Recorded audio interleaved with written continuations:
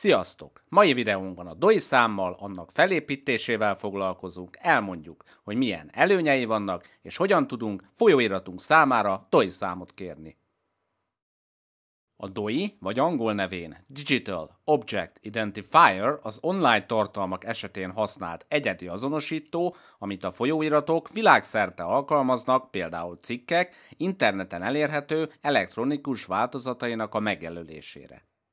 A DOI azonosítókat két ügynökségen keresztül lehet készíteni, a Crossref és a DataSite. Az utóbbi a PHD diszertációk, kutatási adatok és a szürke irodalom esetén javasolt. Videónkban azonban a Crossref-en keresztüli igényléssel fogunk foglalkozni, amit pedig elsősorban folyóiratcikkek, könyvek, illetve könyvfejezetek esetén ajánlanak. Határozott előnye, hogy mivel a DOI egy állandó azonosító, amely a cikkre linkel, így a DOI-s linkek akkor is a dokumentumra mutatnak majd, ha esetlegesen annak elérési helye megváltozott. A DOI az azonosításon túl növelheti a kiadvány weboldalának látogatottságát, ezáltal a hivatkozások száma is emelkedhet. Most pedig nézzük meg a DOI kérés folyamatát és a DOI felépítését. Amennyiben Crossref tagokká akarunk válni, először úgynevezett administratív lépéseket kell megtennünk, ami alatt a szerződéskötést értjük. Ezt a Magyar Tudományos Akadémia könyvtár és információs központon keresztül tehetjük meg. Az együttműködési megállapodás létrejöttét követően egy úgynevezett prefixet, egy előtagot kapunk, ami minden cikkben azonos lesz. Ez azonosítja a folyóiratot. Mivel a folyóiratot azonosítja, ezért egy következő lapszám esetén ez a prefix nem változik. Szemben a szuffixel, vagyis az utótaggal, amit pedig a lap szerkesztőségének kell összeállítani. Most nézzük meg kicsit részletesebben, hogyan is épül fel a DOI. A DOI-t minden esetben linkként kell feltüntetni. Ez a link a doi.org kifejezéssel kezdődik a doi.org kifejezés után a prefix, majd a prefixet pedig a suffix követi. A doi linkben az egyes tagokat természetesen per jel választja el. De hogy is épül fel a suffix? A suffix első tagja az UL, ami a folyóirat nevére, jelen esetben az útügyi lapokra utal. A második a 2020, természetesen a kiadás éve, a kettes szám a második szám ebben az évben, és végül pedig a 02-es a cikk sorszáma. A suffix összeállítás szabályairól kellő részletességgel a következő link tájékoztat minket. Túl azon, hogy doi számunk suffixünk legyen logikus, tömör, lényegre törő, a következő pontokban lehet összefoglalni, mire is kell odafigyelni. A legfontosabb ezek közül, hogy milyen karakterelemeket használhatunk. A-tól Z-ig kis és nagybetű, 0-tól 9-ig, tehát számok, valamint kötőjel, pont, alsó vonal, pontos vesző, zárójelek és a perjel.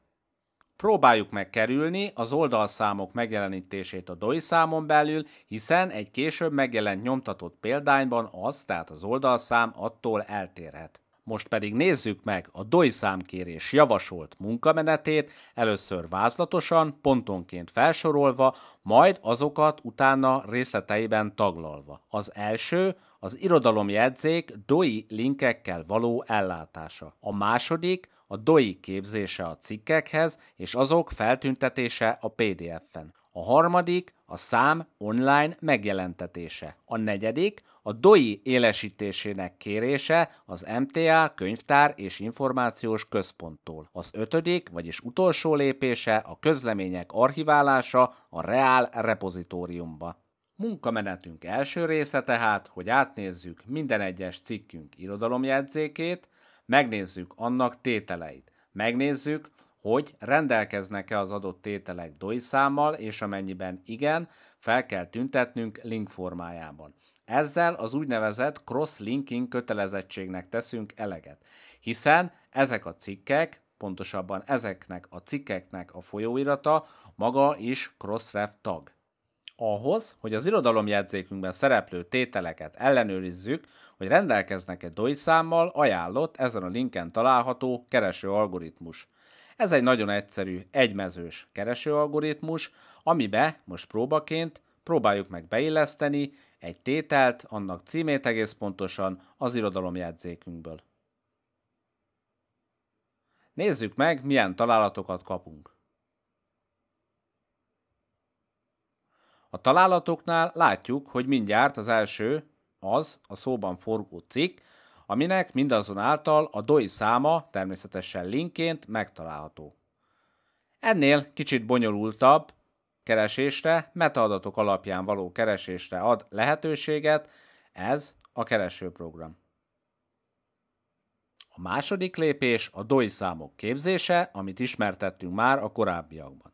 Természetesen linkként kell feltüntetni mind a weblapon, mind pedig a PDF-en egyaránt. Fontos, hogy a PDF-en és a weblapon is feltüntessük a kiadás adatait. Ha pedig igazán precízek akarunk lenni, akkor egy erre a szövegre így hivatkozhat cím után cikkünket bibliográfiai adatként megjelenítjük. Természetesen a DOI számot feltüntetve.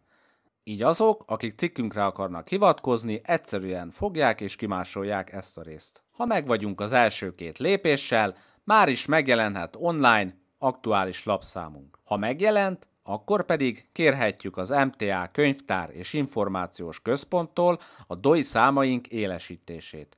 Ezt nagyon egyszerűen megtehetjük úgy, hogy egy e-mailt írunk a doi kötőjel info kukac könyvtár.mta.hu e-mail címre, amiben jelezzük, szeretnénk kérni a DOI számok élesítését, valamint megadjuk azt az URL címet, ami egyúttal az aktuális lapszámunk tartalomjegyzékére mutat.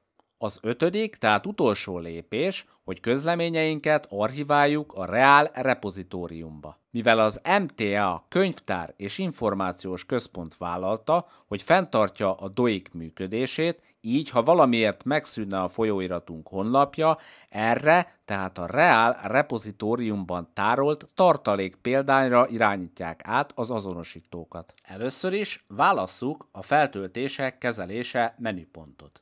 Válasszuk az új tételt, ezzel tudjuk cikkünket hozzáadni, hiszen jelen esetben természetesen a tételtípusok közül cikkről beszélünk. Menjünk a következő gombra, töltsük fel a fájt, természetesen a PDF-re kell gondolni,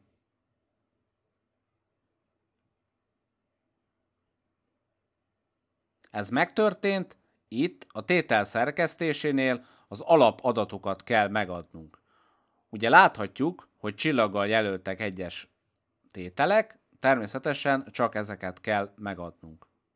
Ezzel megvagyunk, ki kell választanunk, hogy milyen szakterület, szakterületek közé tartozik a cikkünk.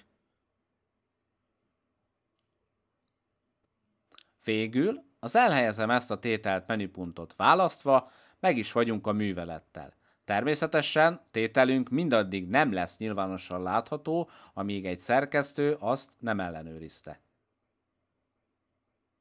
Ha pedig visszamegyünk a feltöltések kezelésére, láthatjuk, hogy hogy állnak, milyen állapotban vannak az egyes tételeink. Fontos, hogy amit elfogadtak, ott a tétel állapotánál az élő archívum szerepel. Lényegében tehát végeztünk is a DOI számkéréssel. Ha tetszett a videó, dobjatok egy lájkot, iratkozzatok fel, köszönjük, hogy velünk tartottatok. Sziasztok!